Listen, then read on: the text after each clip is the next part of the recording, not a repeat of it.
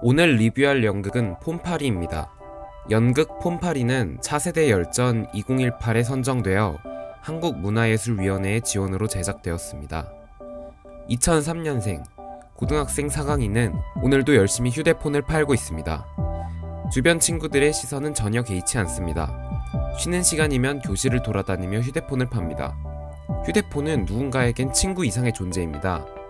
미나에게도 마찬가지죠. 미나는 학교에서는 아무도 모르지만 사실은 잘 나가는 먹방 유튜버입니다. 뼛속까지 폼파리인 사강이는 우연히 미나의 휴대폰을 줍게 되고 팔아버립니다. 학교에선 조용하던 미나도 화가 났던지 미나의 방식대로 대응합니다. 일진을 끌어들이죠. 이 둘은 그러다가 놀랍게도 사랑에 빠집니다. 네? 갑자기요? 둘은 서로를 느끼고 공감하고 껴안고 이 연극은 13세 이상 관람가였습니다. 그렇게 연극이 마무리됩니다.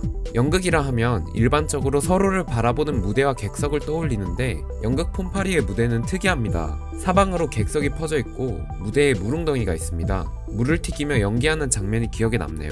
또한 대사를 이어나가야 할 타이밍에 몸짓으로 대화를 대신하는 게 신선하게 느껴졌습니다.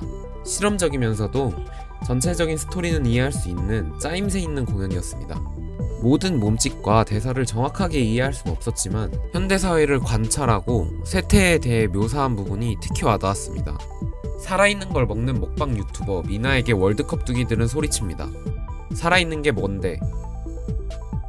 살아있는 게 무엇일까요?